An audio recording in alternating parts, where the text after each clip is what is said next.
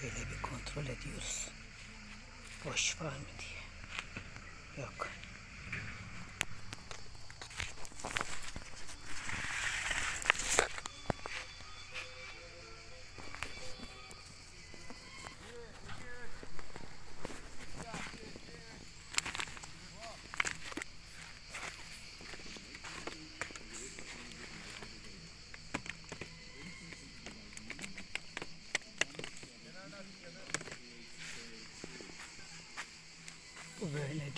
this.